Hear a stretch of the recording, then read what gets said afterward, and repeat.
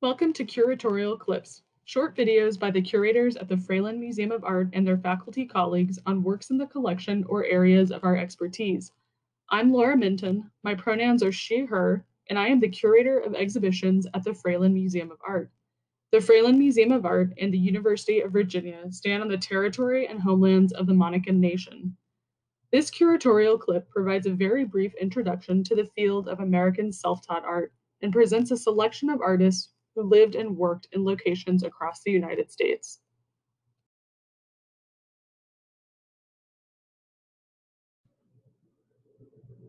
To begin, I want to read you a quote by Roger Cardinal, who published his book Outsider Art in 1972.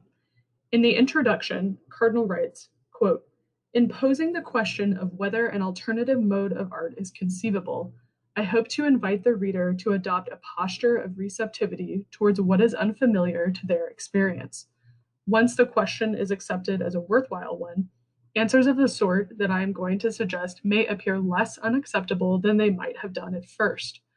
I am hoping to persuade the reader that to turn away from habitual cultural patterns to which they have trained to respond can be an exciting and an enriching experience provided the alternative to the old order is not senseless chaos.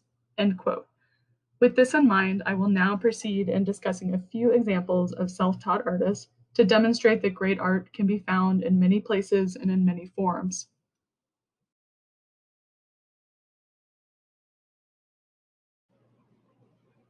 You will often hear a number of qualifying terms used to describe these artists, including, among others, self-taught, outsider, visionary, vernacular, untutored, intuitive, and most recently, outlier. However, none of these terms are adequate and largely serve to other these artists, defining them through their difference to the so-called mainstream art world. Keep in mind that there is no one definition for these artists, and that categories are often insufficient or serve to further marginalize them.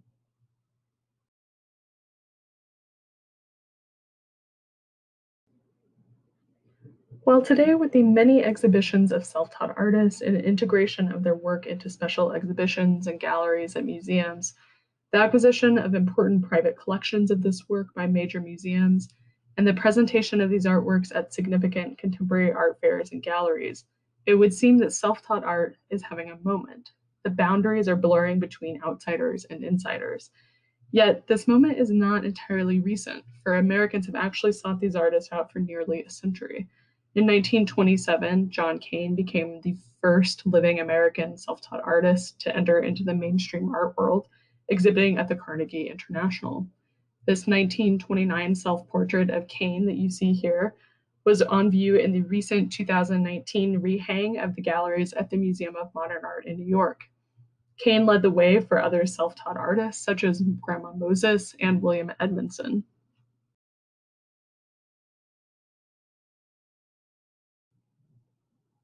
William Edmondson was born in 1874 in Davidson County, Tennessee. He was the son of freed enslaved people. He began making art in the early 1930s after he retired. He was inspired to create after he received a vision from God, who told him to take up the sculptor's tools and to work on his behalf. Edmondson stated, quote, Jesus has planted the seed of carving in me, end quote. Edmondson salvaged chunks of limestone from demolished houses and curves from city streets. Using a sledgehammer and railroad spikes as chisels, his first carvings were tombstones for the Black community. He carved animals, both real and imaginary, biblical characters, and angels that were inspired by his faith, but also secular figures like Eleanor Roosevelt and local school teachers. In 1937, Edmondson became the first African American artist to be given a one person exhibition at the Museum of Modern Art in New York, where 10 of his sculptures were put on view.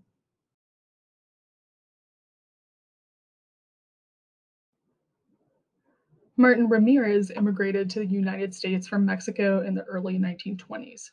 He first worked in the railroad industry, but after the great crash of 1929, he became unemployed and living on the streets.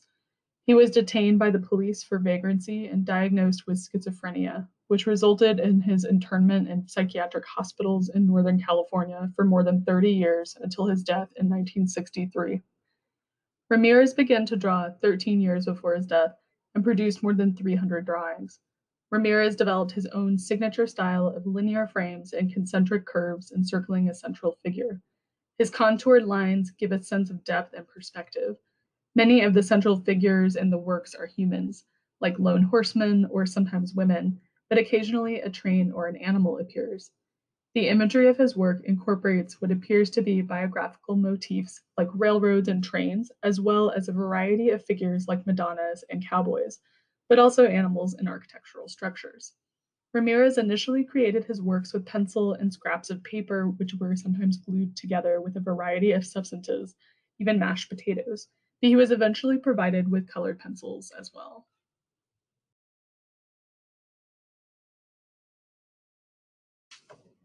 Joseph Yoakum was born in the Missouri Ozarks to parents of African American and Cherokee descent. As a young man, Yoakum traveled across North America and abroad, working for some of the leading railway circuses like Buffalo Bill Cody's Wild West Show and the Ringling Brothers, as well as on railways and ships, eventually settling in Chicago during the 1920s. He did not begin to make art until the early 1960s, when he began to draw in response to a dream Yoakum described his process as a spiritual unfoldment. His body of work consists of approximately 2,000 drawings produced during the last decade of his life. His materials included blue and black ballpoint pens, fiber tip pens, pencils, colored pencils, and watercolors. Most of his drawings are abstracted landscapes, like you see here, featuring cloud speckled skies, mountains, hills, rock formations, bodies of waters, and trees. The drawings are filled with variegated rock and landforms, textured through ballpoint pen lines and designs. Oftentimes, Yoakum included small vignettes within his landscapes. He inscribed each drawing with the, the landscape's geographic location, and in many cases, a date, either handwritten or stamped. He also made more than 100 portraits, many of well known African American celebrities.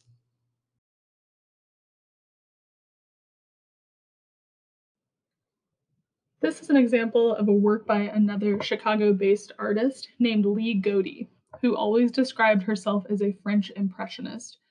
From 1968 to 1990, she created her original artworks on the steps of the Art Institute of Chicago and sold them to museum visitors. Although not actually a French Impressionist, Godie saw the Art Institute's superb collection of this material as a touchstone of her own work. She spent a lot of time at the museum and often camped her traveling art studio on the edge of the museum's north garden. Her works were created using a variety of media, including watercolor, pencil, tempera, ballpoint pen, and crayon. And she put all of those on canvas, poster board, sheets of paper, and discarded window blinds. She made many portraits, like the example that you see here, which were often personal and depicted herself, friends, passerby, and famous individuals. Godie created thousands of paintings and also a number of altered photographic self portraits that she took in photo booths. And you can see one here in the left. In 1993, there was a 20 year retrospective of her artwork held at the Chicago Cultural Center, and the 85 year old artist was able to attend. She then passed away about four months later.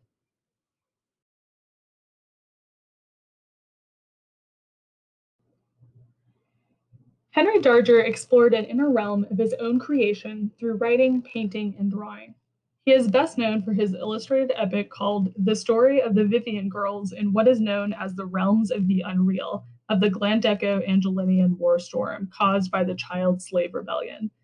This is a 15 volume and 15,000 page novel. The story is a war story influenced by adventures and comic books of the time. It is the tale of seven little girls known as the Vivian Girls, who set out to rescue abducted children who have been enslaved by the Glandelinians. Through death and destruction, the Vivian Girls prevail, and the children are freed from their captors. Darger first wrote his story by hand and then typed it out on a typewriter. He added illustrations that were arranged in huge panoramic landscapes and painted in watercolor. Some of the paintings are 30 feet long and are painted on both sides. Scenes range from idyllic childhood images and tranquil landscapes to images of carnage and massacre. Henry Darger's room and studio can be seen today reconstructed at Intuit, the Center for Intuitive and Outsider Art in Chicago.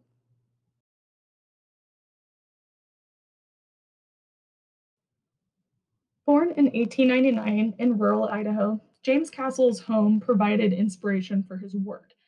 The community post office and local general store were both housed in his family's residence. Castle's subjects were inspired by postage stamps, calendars, and catalogs that he witnessed pass through his family's home on a daily basis. Other subjects included various versions of family photos and framed landscapes. His body of work was created over six decades, and he devoted himself full time to his art making. Examples of Castle's works include drawings made with soot and spit, such as the one you see here, construction stitched together from found pieces of cardboard, and handmade books. Castle did not date or title his works, gave no interviews, never wrote about his practice, and disliked being observed. He reworked and redrew many of his motifs and revisited subjects over and over again. Castle was also committed to displaying, hoarding, and safeguarding his work. He would gather works of a similar size into groups and then wrap and carefully tie them into bundles or fit them snugly into customized boxes.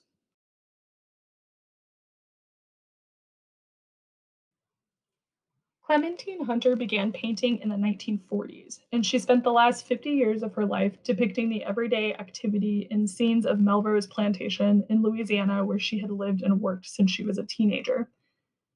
Melrose Plantation was unusual in that it had become a haven for artists in the early 20th century. Hunter painted scenes of people doing laundry and taking care of children, as well as special events such as baptisms and weddings. She said, quote, I paint the history of my people, end quote.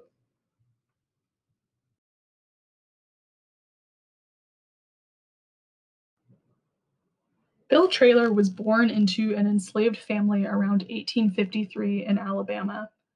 His lifetime spans the Civil War, Emancipation, Reconstruction, Jim Crow segregation, and the Great Migration.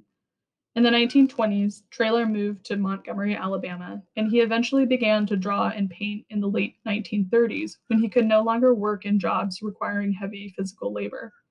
Traylor was then in his late 80s and living on the streets. His forms are simplified, but the meanings brim with complex stories, memories, abstractions, and documents of segregated life in the South. Traylor created more than 1,200 drawings and paintings, and is the only known artist born into slavery to produce such a significant body of work.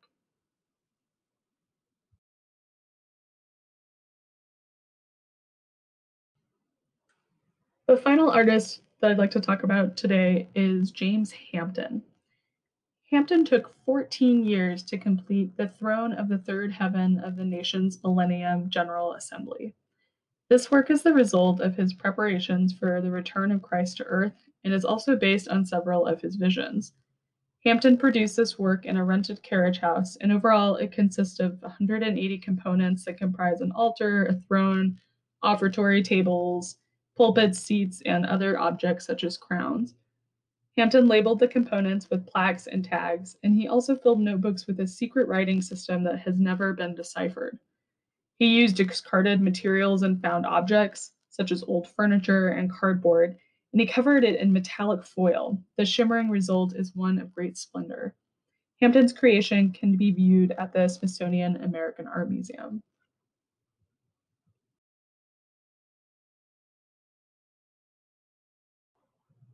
This is just a small sampling of American artists.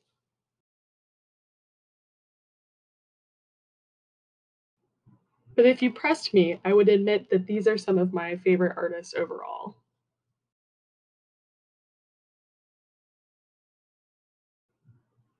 If you are interested in learning more about self taught artists and their extraordinary work, I have included some resources to get you started.